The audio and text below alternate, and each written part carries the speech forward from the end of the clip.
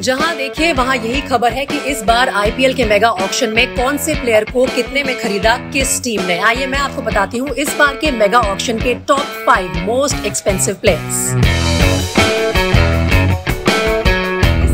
सबसे मोटा पैसा हाथ लगा है ईशान किशन के। ईशान किशन की घर वापसी हुई है मुंबई इंडियंस में 15.25 करोड़ की डील के साथ। विकेट कीपर भी हैं, ओपनिंग भी कर सकते हैं, मिडिल ऑर्डर में भी फिट हो सकते हैं। उनकी वर्सिटैलिटी को रिवॉर्ड किया गया। एक और बैट्समैन जिसे अपने लिए नई टीम की तलाश थी, उसे मिल गई है के के आर की टीम। मैं बात कर हूँ श्रेयस अय्यर की, उन्हें खरीदा गया है सवा बारह करोड़ में। और शायद के के आर इनमें अपना फ्यूचर कैप्टन भी देख रहे हैं। लो ऑर्डर बोलिंग ऑलराउंडर्स की अगर बात करें तो शार्दुल ठाकुर भी इस बार खासी डिमांड में रहे। उन्हें मिली है 10 करोड़ पिछहत्तर लाख की डील और दिल्ली कैपिटल्स ने उन्हें अपनी टीम में शामिल कर लिया है। इस बार के ऑप्शन में फास्ट बोलिंग ऑलराउंडर्स की बहुत डिमांड थी और दीपक चहर को वापस सीएसके ने खरीदा है चौदह करोड़ की डील के साथ। प्लेयर जिसकी घर वापसी हुई है वो है हर्षल पटेल। उन्हें आरसीबी ने दस करोड़ पिछहत्तर लाख की डील में खरीद लिया।